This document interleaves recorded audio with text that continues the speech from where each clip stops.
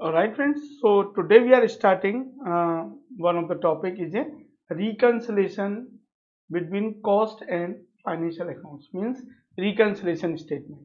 Now question सबसे पहले आता है friends what do mean by reconciliation तो उसका थ्योरी नोट्स मैंने आपको सॉल्यूशन बुक में दिया है आप जरा देखिए this is your solution book and solution book का आप जरा देख लीजिए पेज नंबर 12.1 वहाँ पे मैंने आपका थ्योरी एक्सप्लेन किया है पेज नंबर 12.1 पर आप जरा देख लीजिए थ्योरी का क्या दे रखा है, है?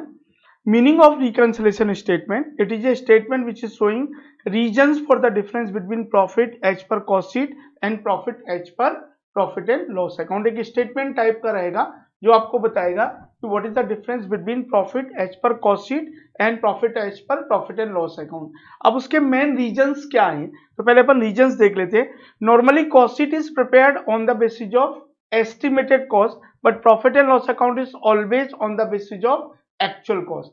Cost sheet जो आपका रहता है, हमेशा क्या रहता है? On the basis of estimated cost रहता है but P and L account हमेशा आपका क्या रहता है? On the basis of actual cost तो एक एस्टिमेट है, एक एक्चुअल है तो दोनों में डिफरेंस आने वाला है। In cost sheet we consider income and expenditure which is purely और exclusively related to operation but in profit and loss account we consider both operating as well as non operating मैंने आपको हमेशा बताया है कि कॉस्ट शीट कॉस्ट में हम लोग क्या करते हैं? We considered income and expenditure we considered income and expenditure which is purely और एक्सक्लूसिवली रिलेटेड टू ऑपरेशन तो हमको कॉस्ट शीट क्या देता है? Operating profit but profit and loss account में हम लोग को सब कंसिडर करना है। जैसे सपोज़ आपको, आपने कोई प्लांट एंड मशीनरी परचेज किया, आपको लॉस हो गया तो वो लॉस आपको कॉस्ट शीट में नहीं लेना है। लेकिन वो लॉस आपका कहाँ आएगा? पी एंड एल अकाउंट में।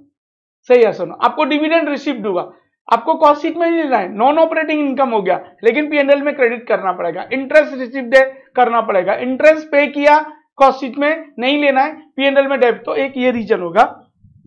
तीसरा, ये main reason normally cost sheet is prepared as per the expectation of customer but profit and loss account always as per the requirement of customer as per the requirement of law अब देखो कॉस्टिट हम हमेशा किसके लिए बनाते हैं? Customer के हिसाब से बनाते हैं, बराबर?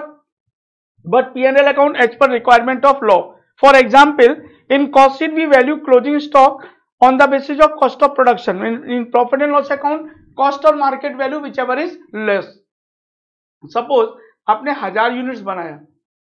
हज़ार यूनिट का कॉस्ट आया आपका सपोज़ हज़ार रुपए। उसमें से आपके 500 यूनिट सोल्ड हो गए 500 यूनिट्स आपके क्या हो गए?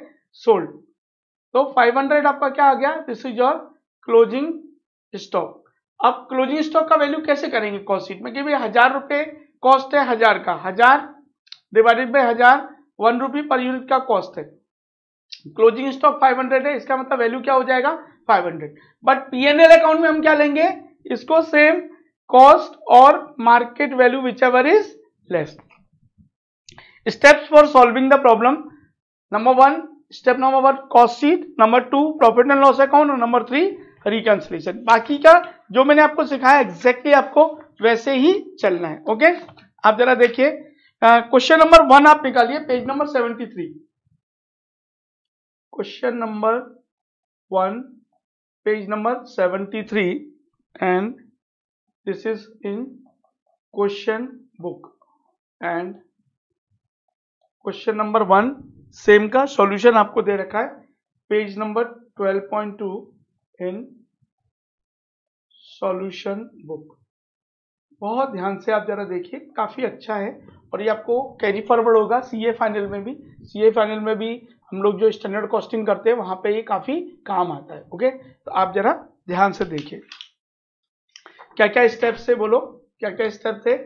Step number one cost sheet cost sheet always on the basis of estimated okay P&L account always on the basis of actual and step number three is a reconciliation what is reconciliation it is a statement which is showing reasons for the difference between profit as per cost sheet and profit as per profit and loss account okay question number one आप जरा देखिए friend the financial records of modern manufacturers limited reveal the following for the financial year 36 2016 sales आपको दे रखा है, all figure in thousand है hmm, twenty thousand units और उसका थाउजेंड्स में सेल्स दे रखा है four thousand.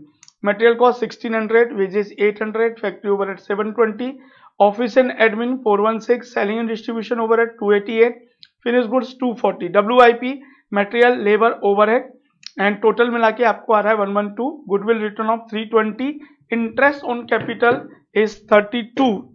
In costing records, factory over heads is charge at 100% wages admin overhead 10% of the factory cost and selling and distribution overhead at the rate 16 rupees per unit sold prepare statements reconciling the profit as per cost records with profit as per financial state सबसे पहला काम है आपका you prepare the you just prepare the cost sheet कौन सा कंपनी है this is your first you write this is your modern manufacturers limited. Step number one.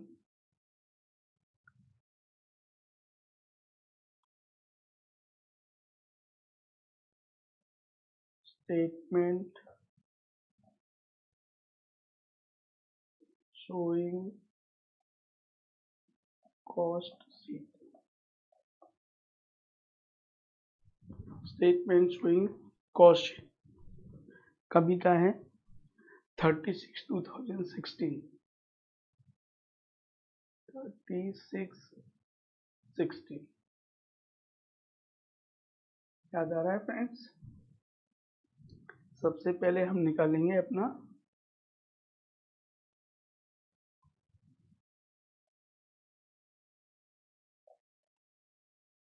Production सबसे पहले production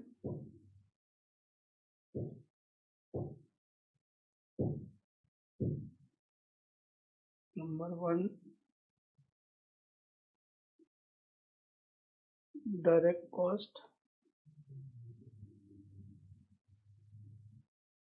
direct material direct labour direct expense तीनों से मिलके बनेगा prime cost number two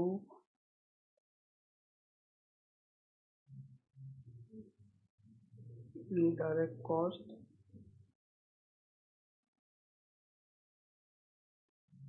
factory overheads gross factory cost. Add opening WIP less closing W I क्या क्या आपको दे रखा है बोलो? ये मॉडर्न मैन्युफैक्चरर्स लिमिटेड है ओके स्टेप नंबर वन हम लोग कर रहे हैं। क्वेश्चन नंबर वन का सबसे पहले हम लोग निकालेंगे प्रोडक्शन फिर direct cost direct cost direct material direct labour direct expense आपको क्या मिलेगा? Prime cost then go to indirect cost it means factory overhead gross factory cost add opening W I P less closing W I सही है सुनो ये आपका आ जाए सही है सुनो ओके एंड ऑल फिगर्स आपके किसमें आएँगे? In all rupees in thousand okay तो ये आपका आ जाएगा अब।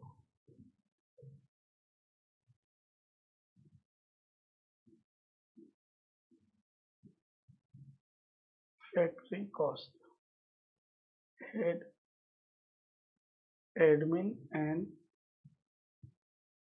office overheads. आएगा। Cost of production and opening finished goods less closing finished goods.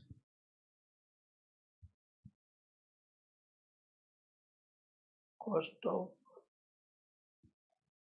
goods sold add selling and distribution overhead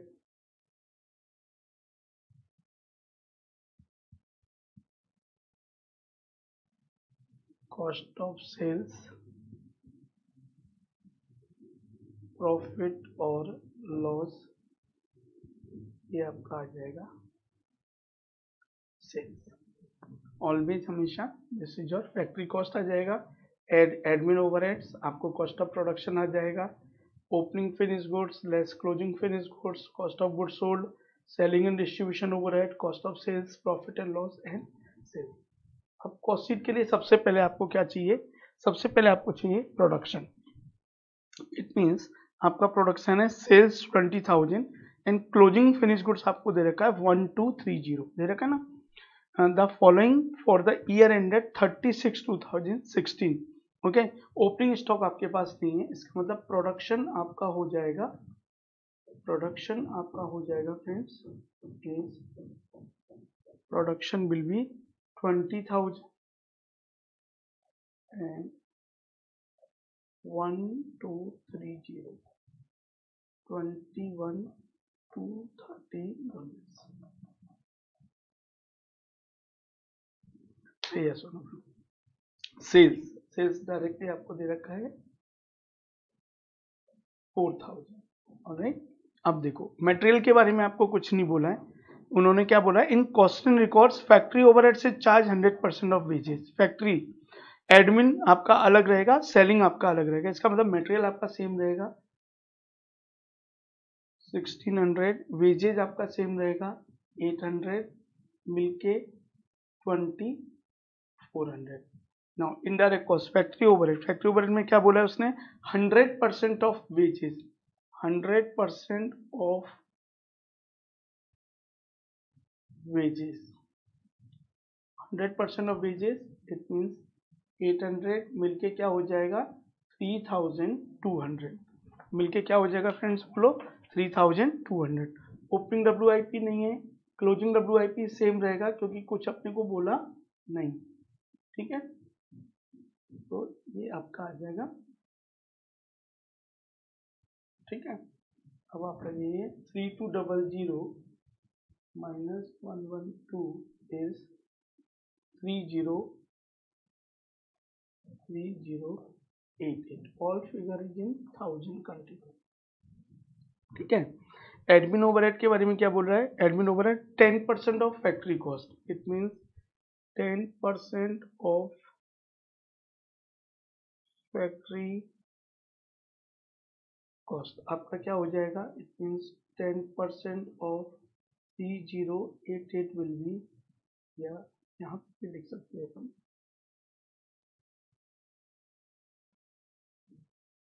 Ten percent of 3088 is 308.8 308.308.8 is 3396.8 3396.8 opening finish goods अपने पास नहीं अब इन लोगों का क्लोजिंग फिनिश गुड्स है 240 लेकिन मैंने आपको क्या बताया था? Cost sheet cost sheet always prepared as per the requirement of customer but P N L account as per requirement of law तो रिक्वायरमेंट ऑफ़ लॉ है। ओके okay, तो लॉ में कितना आया है? 240 कॉस्ट और market value whichever is less लेकिन हमारा कॉस्ट क्या है? कॉस्ट आ रहा है three three nine six point eight this is for twenty one two thirty units उसमें से हमारे पास स्टॉक बचा है वन टू थ्री ज़ीरो क्योंकि ट्वेंटी वन टू थर्टी बनाए बीस हज़ार बिक गया तो one two three zero twenty thousand हमारा सेल हो गया। तो हमारा क्या बचेगा? 1230 it means 3396.8 divided by 21230 into 1230 is 196.8 196.8 it means 3396.8 minus 196.8 will be your 3200 add selling overhead क्या बोल रहा है? Selling and distribution sixteen rupees per unit sold number of units हमारी कितनी सोल्ड हुई है? Twenty thousand into sixteen rupees per unit sold और all figure in thousand ये क्या आ जाएगा आपका? Three twenty okay so cost of sales will be three five two zero and sale है हमारा four thousand minus three five two zero will be four thousand minus three five two zero will be four eighty हमारा जो profit आएगा as पर कॉस्टिड वो क्या आएगा? Four eighty ये क्लियर हुआ कि नहीं? बताइए। फोर एट्टी का आपको प्रॉफिट आएगा सबसे जो इम्पोर्टेंट पॉइंट था ये वैल्यूएशन ऑफ़ स्टॉक का। यहाँ पे वैल्यू किस पे होगा?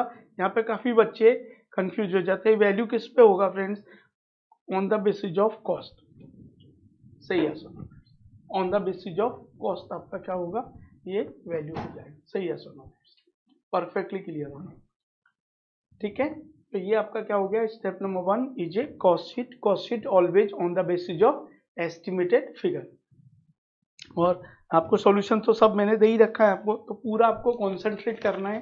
किसके ऊपर कॉन्सेंट्रेट करना है? कि मैं कैसे ये ऑल फिगर्स पिकअप कर रहा हूँ। सॉल्यूशन तो आपको प्रिंटेड फॉर्म में अवेलेबल है। तो ये this is what your Modern Manufacture Limited का, ये आपका statement showing statement showing cost sheet for the year thirty six 2016 ये आपका प्रोडक्शन आ गया। कैसे आया production sales plus closing stock minus opening stock opening stock आपका नहीं है okay material cost as it is ले लेंगे वेजेस एज इट इज़ ये as it is factory overhead में क्या बोला? Hundred percent of wages what your wages eight hundred so hundred percent of wages is eight hundred opening W I P नहीं है closing W I P one by two minus कर देंगे, आपका आ जाएगा factory cost admin over ten percent ये आपका ये आ जाएगा. Opening finish goods nil closing finish goods ये है. टोटल आपका ये आ जाएगा. Selling distribution three five two zero four eighty and four thousand सही आसान हो फ्रेंड्स स्टेप नंबर टू आपका आ जाएगा फ्रेंड्स अभी। दिस इज़ और step number two step number two के बारे में क्या बोल रहा है? Is a profit and loss step number two this is on modern manufacturers limited. Modern manufacturers limited profit and loss account for the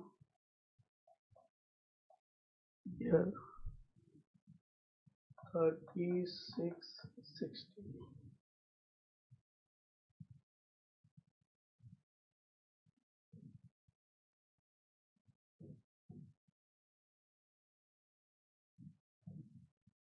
okay? P N L account बना लीजिए friends ये पर्टिकुलर्स रुपीज़ पर्टिकुलर्स रुपीज़ ये D R और ये C R आपको मालूम है ना डी आर का meaning debit recorded and C R का meaning credit recorded debit recorded and credit recorded okay sales all figure is thousand by sales by sales sales is four thousand to material 1600 to wages 800 to factory overhead 720 to office overhead 416 to selling overhead 288 by finished goods this is your closing stock 240 by WIP closing. 112 to goodwill written off. Goodwill written off. 320 and goodwill written off to interest on capital interest on capital 32 to net profit हम लोग निकाल yes four thousand four thousand plus two forty plus one one two is four three five two four three five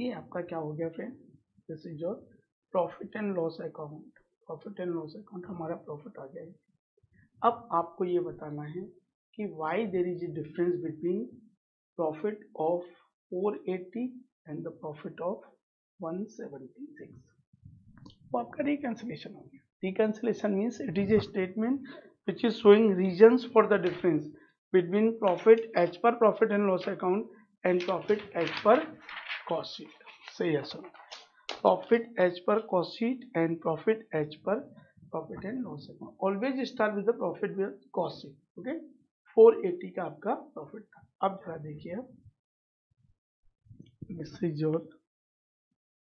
step number three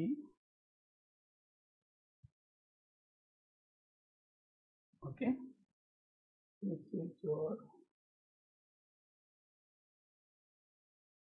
statement showing reconciliation.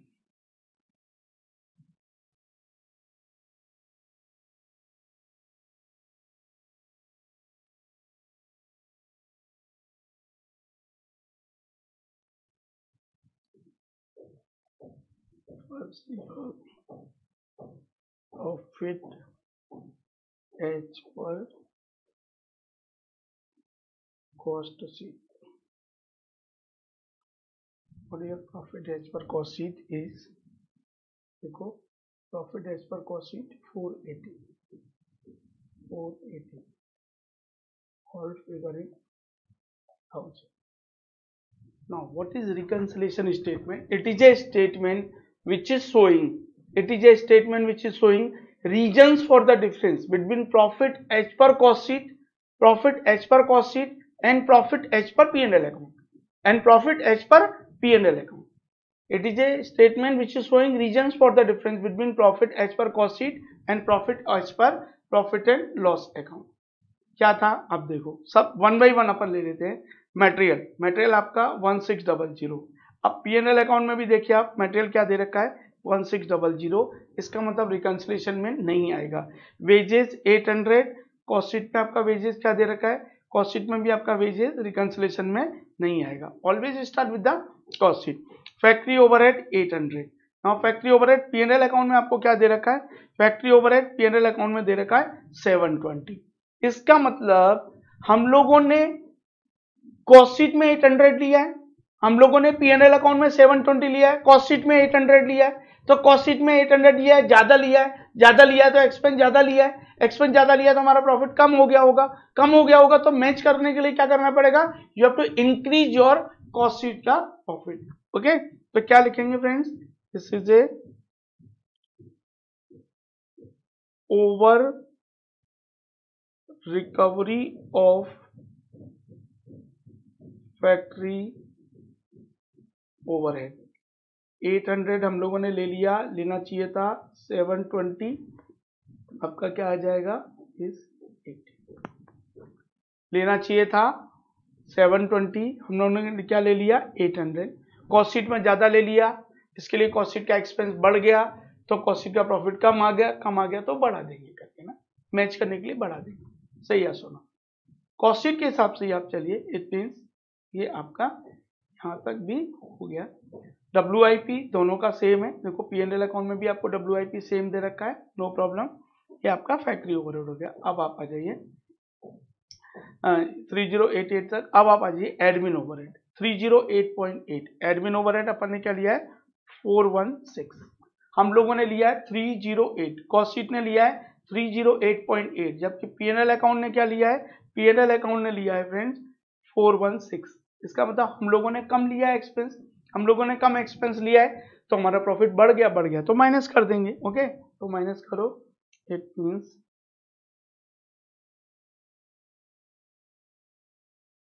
under recovery of admin overhead. Under recovery of admin overhead. कितने का under recovery है friends? देखो जरा। हम लोग ने लिया है 308.8 जबकि एक्चुअल है 416 इट मींस 308.8 जबकि एक्चुअल में है 416 मींस 416 माइनस 308.8 विल बी 107.2 107.2 हम लोगों ने एक्सपेंस कम लिया तो हमारा प्रॉफिट इंक्रीज हो गया। वी आर कॉस्टिंग हम लोगों ने कम लिया तो हमारा प्रॉफिट बढ़ गया बढ़ गया तो कम कर देंगे। वन ज़ीरो से इज़ दिस क्लियर हो फ्रेंड्स बोलो। परफेक्टली क्लियर हो बोलिए। अब आप आ जाइए। ये आपका हो गया देन ये आपका आ गया। अब आ जाइए आप friends closing stock closing stock you always consider as an income हम लोगों ने क्या? क्लोजिंग स्टॉक क्लोजिंग स्टॉक हमेशा किसका अगर क्लोजिंग स्टॉक इंक्रीज होगा, हमारा प्रॉफिट इंक्रीज होगा। अगर क्लोजिंग स्टॉक कम होगा, हमारा प्रॉफिट कम होगा। Closing stock as a part of your income okay देखिए जरा। 196 और इन लोगों ने क्या ले लिया? 240 इन लोगों ने ज़्यादा ले लिया? पीएनएल अकाउंट ने ज़्यादा ले लिया, हम लोगों ने कम लिया। तो हमारा प्रॉफिट कम आया। कम आया तो हम क्या करेंगे? Add it means under valuation of closing stock under valuation of closing stock. लोगों ने कितना लिया है? इन लोगों ने लिया है 240 हम लोगों ने कितना लिया है? 196.8 ओके? 240 minus 196.8 is 43. हमारा प्रॉफिट 43.2 से कम था। हम लोगों ने ये देखा। सही है, सुनो। परफेक्टली क्लियर हो। अब आ जाइए आप। क्लोजिंग स्टॉक आपका हो गया friends this is a closing stock अब आप आ जाइए। ये सेलिंग एंड डिस्ट्रीब्यूशन ओवर है 320 सेलिंग एंड डिस्ट्रीब्यूशन ओवर है 288 हम लोगों ने ज़्यादा लिया है। हम लोग कौन है? कॉसिट कॉसिट ने क्या लिया है? 320 जबकि इन लोगों ने लिया है 288 तो हमारा प्रॉफिट कम हो गया। कम हो गया तो क्या करेंगे? बढ़ा देंगे, हैं? Over over recovery of selling overhead over recovery of selling overhead 320 जबकि एक्चुअल में कितना हुआ है? 288 देखो जरा एक्चुअल में कितना हुआ? 288 हम लोगों ने कितना ले लिया है? 320 तो 320 minus two eighty eight is 32 32 ठीक है? देन अब आप आ जाइए, ये आपका आ गया 320 एंड 320 ये आ गया सेल्स दोनों में सेम है ही 4000 4000 नो प्रॉब्लम देन अब आप आ जाइए, ये आपका प्रॉफिट आ गया फोर अब आप देखिए कॉस्ट शीट के तो सारे आइटम्स अपने कवर हो गए. Cost sheet all items covered cost sheet all items covered अब आप देख लीजिए पीएनएल अकाउंट पीएनएल अकाउंट में ये दो आइटम्स रह गए. क्यों रह गए? In cost sheet we considered in cost sheet we considered income and expenditure which is purely exclusively related to operation. Goodwill written off, not related to operation. Interest on capital financial expenses okay ये दोनों item expense में लिए। P N L account के expense में लिए cost sheet में लिए। Cost sheet में नहीं लिए तो कॉस्ट शीट का प्रॉफिट बढ़ गया। बढ़ गया तो क्या करेंगे? कम करेंगे। It means items not items not considered in cost records. Items not considered in cost records. कौन कौन से आइटम्स है? Goodwill interest on capital goodwill interest on capital 320 32 320 and 32 profit as per profit and loss account अब आपका ये tally होना चाहिए। 480 plus 80 minus 107.2 plus 43.2 plus 32 minus 320 minus 32 170 आपका 176 इट मीन्स यहाँ पे क्या रहा है? 176 सही है सर वेरी सिंपल और मतलब मेन बेनिफिट क्या है? कि you can verify your answer जो भी आप लिख रहे हैं, वो आंसर आपका प्रॉपर हो जाएगा सही है सर जो भी आप लिख रहे हैं, वो आंसर आपका एकदम प्रॉपर हो जाएगा। जो आंसर हम लोग लिख रहे हैं, वो आंसर आपका एकदम प्रॉपरली आ जाएगा। सही है सर परफेक्टली क्लियर अब ये क्वेश्चन तो यहाँ खत्म हो गया। थोड़ा नॉलेज के लिए मैं आपको एक चीज़ सिखाता हूँ करके ना। ये तो आपका कंप्लीट हो गया। क्वेश्चन यहाँ पे कंप्लीट हो गया स्टेप वन स्टेप टू उसने क्या पूछा क्वेश्चन में? Prepare a statement reconciling the profit as per cost records with the profit as per financial records of the company financial records of the company ये हमारा complete हो गया। Suppose अगर मैं पेपर सेटर मैं आपको, मैं पेपर सेटर अगर मैं आपको बोलता हूँ कि मैं पेपर सेटर मैं आपको क्या बोलूँगा कि मैं आपको स्टेप नंबर थ्री देता हूँ रिकन्सिलेशन आपको स्टेप नंबर टू देता हूँ पीएनएल अकाउंट और मैं आपको बोलता हूँ कि you prepare the cost sheet आपके पास कॉस्ट शीट का कोई भी फिगर नहीं आप मुझे कॉस्ट शीट बना के बताइए। आप मुझे कॉस्ट शीट बना के बताइए। ये मुझे आप कॉस्ट शीट बना के बताइए तो जाके आपका लॉजिक क्लियर होगा। आप मुझे कॉस्ट बना के बताइए तो जाके आपका लॉजिक क्लियर होगा। मैं आपको क्या था, सोचिए अब जरा ना। आपके पास पी एंड एल अकाउंट है, आपके पास पी एंड एल अकाउंट है, आपके पास पी एंड एल अकाउंट है, बोलो। आपके पास पी एंड एल अकाउंट है फ्रेंड्स आपके पास रिकन्सलेशन है, आप मुझे क्या बना के दीजिए? आप मुझे बना के दीजिए कॉस्ट आप मुझे क्या बना के दीजिए? कॉस्ट शीट कैसे स्टार्ट करेंगे? देखो what you mean by reconciliation बहुत ध्यान से सुनिए आप जरा। ये एक एक अगर आपको क्वेश्चन क्लियर हो गया ना, आपका काम हो जाएगा। बहुत ध्यान से सुनिए। What is reconciliation it is a statement which is showing reason for the difference between profit as per cost sheet and profit as per P L account अगर दोनों में अंतर है, अगर दोनों में डिफरेंस है तो रिकन्सिलेशन में आएगा। अगर दोनों में डिफरेंस है तो रिकन्सिलेशन में आएगा। अगर डिफरेंस नहीं है तो रिकन्सिलेशन में आएगा नहीं। तो पहले जहाँ जहाँ डिफरेंस है, वो आइटम को अपन टिक कर लें। जहाँ जहाँ पे डिफरेंस है, वो आइटम को अपन टिक कर लें। Profit as per cost sheet 480 ठीक है। आप कॉस्ट शीट में प्रॉफिट लिख सकते हैं। Profit as per cost sheet आपका कितना है? लीजिए 480 आप लिख देंगे। आपका कॉस्ट शीट का प्रॉफिट क्या आना चाहिए? 480 ठीक है। चलो नो प्रॉब्लम अब आप आ जाइए फ्रेंड्स आपको क्या दे रखा है? 480 चलो, ये हो गया। पहला डिफरेंस है फैक्ट्री ओवरहेड के अंदर। तो फैक्ट्री ओवरहेड के अंदर आपका डिफरेंस है। दिस इज़ फैक्ट्री ओवरहेड उसको हम लोगों ने सर्किल कर दिया फैक्ट्री ओवरहेड के अंदर है। दूसरा डिफरेंस है आपका एडमिन ओवरहेड के अंदर डिफरेंस है।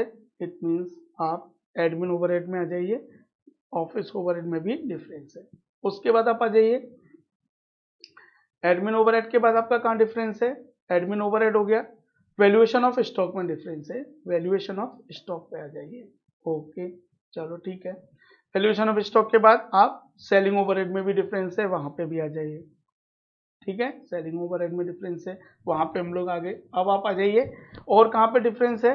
सेलिंग um, ओवरहेड में डिफरेंस है। And then items not considered वहाँ पे भी डिफरेंस है। आइटम्स नॉट कंसिडर्ड इसका मतलब जहाँ जहाँ पे डिफरेंस नहीं है, वो फिगर तो हम डायरेक्टली लिख सकते हैं क्या क्या WIP का डायरेक्टली लिख सकते हैं सेल्स का डायरेक्टली लिख सकते हैं मटेरियल डायरेक्टली लिख सकते हैं लेबर डायरेक्टली लिख सकते हैं। बाकी के आइटम्स तो हम लोग डायरेक्टली लिख सकते हैं ना फ्रेंड्स बोलो, जहाँ जहाँ पे डिफरेंस है, जहाँ जहाँ पे डिफरेंस है हमारा, उसको हम छोड़ देते हैं। यहाँ पे डिफरेंस है, यहाँ पे डिफरेंस है, यहाँ पे डिफरेंस है, यहाँ पे डिफरेंस है। टोटल फाइव आइटम्स में डिफरेंस है। देखो जरा। टोटल फाइव आइटम्स में डिफरेंस है one two three four five six items में डिफरेंस है. टोटल तो one two three four five and six items में डिफरेंस है टोटल टोटल सिक्स आइटम्स में डिफरेंस है. इसका मतलब बाकी के आइटम्स को हम लोग एज इट इज़ लिख सकते हैं ना. जैसे सेल्स हम एज इट इज़ लिख सकते हैं फोर थाउज़ेंड आपने क्या किया? फोर थाउज़ेंड आपने क्या लिख दिया? Sales it means four thousand आप लिख सकते हो सेल्स। ठीक है? अब आप आ जाइए। और अपन को क्या दे रखा है? WIP में डिफरेंस नहीं है। डब्ल्यू में डिफरेंस नहीं है। One one two closing WIP closing WIP आपका क्या आ जाएगा? Closing W I P is one one two one one two आपका क्या आ जाएगा? One one two one one two आपका आ जाएगा। अब आ जाइए आप। वन वन टू आपका ये आ गया सेल्स आ गया। मटेरियल में वेजेज में नो डिफरेंस सीधा ले सकते हैं। मटेरियल वेजेज में नो डिफरेंस ये आपका डायरेक्ट एक्सपेंस नील ये आपका टू थाउज़ेंड फोर हंड्रेड आप जरा ध्यान से देखना।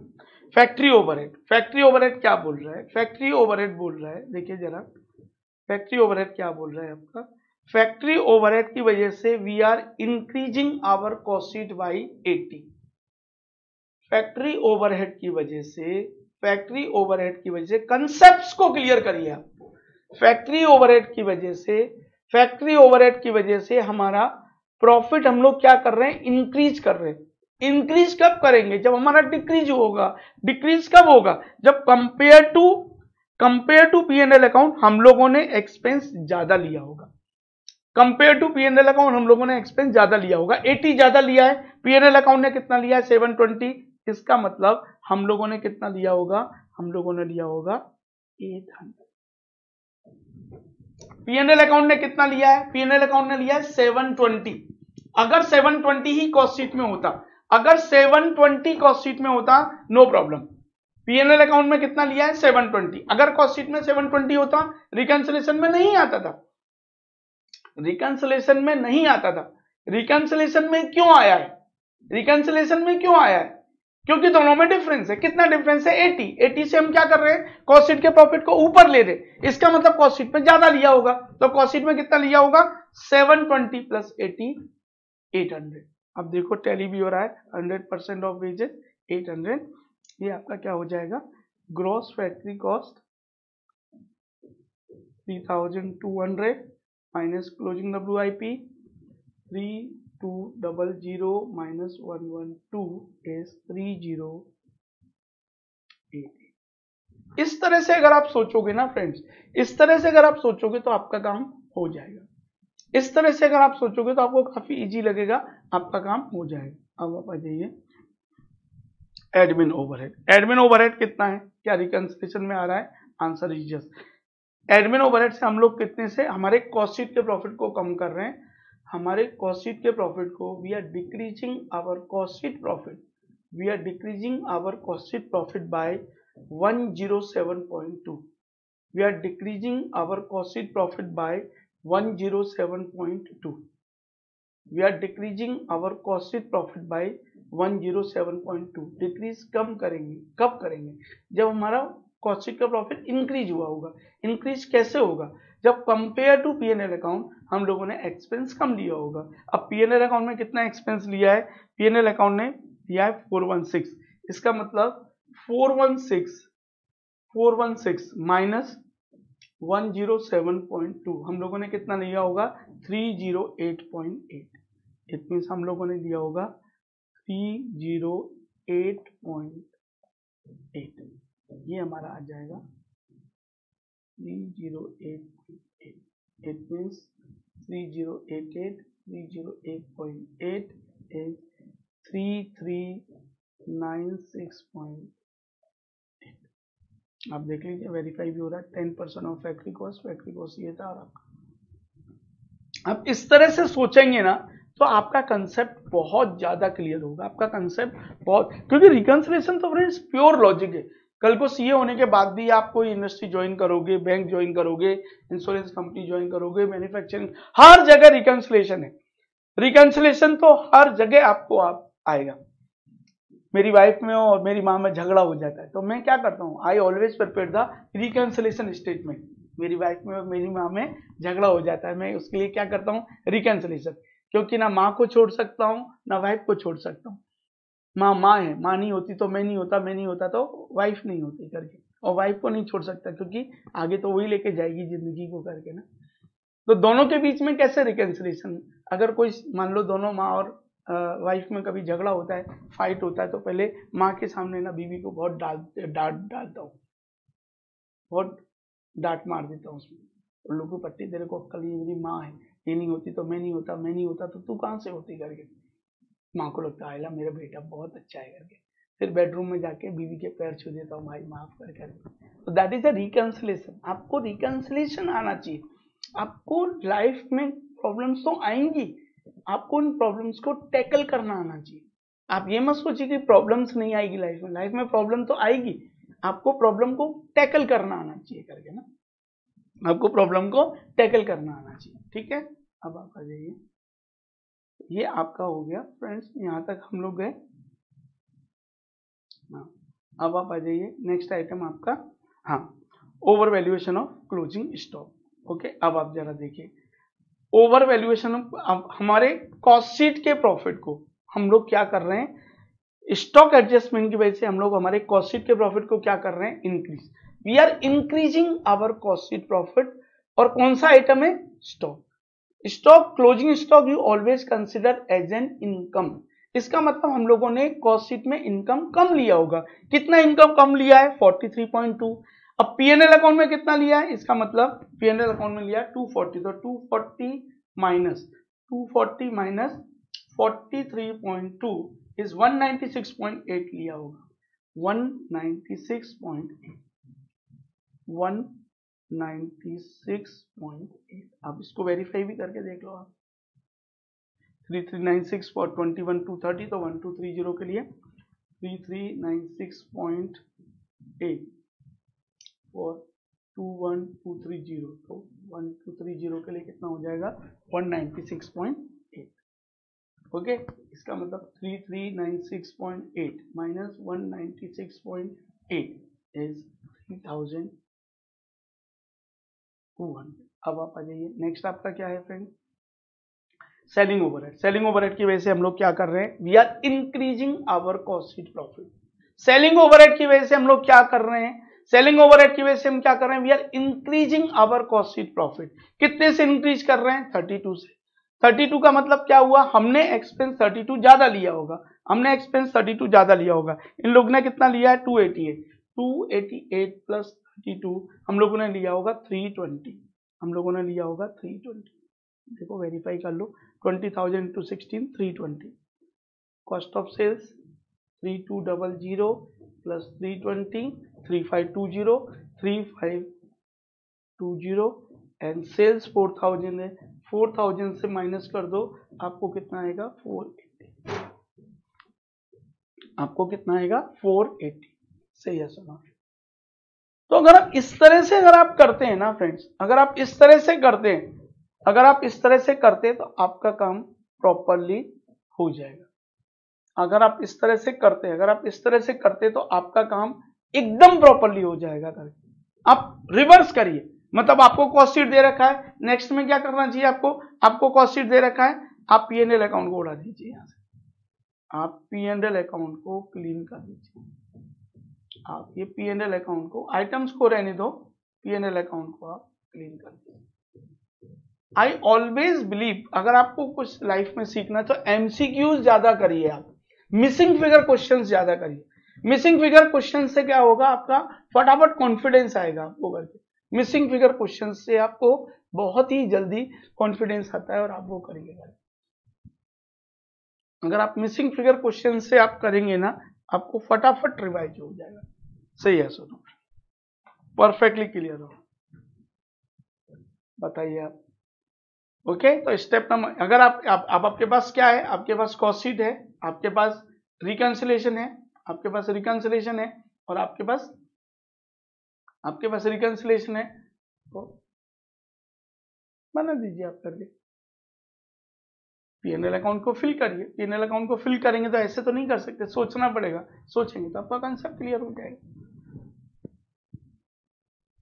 बोलो यस सुनो परफेक्टली क्लियर होगा प्रॉपर ओके ऑल राइट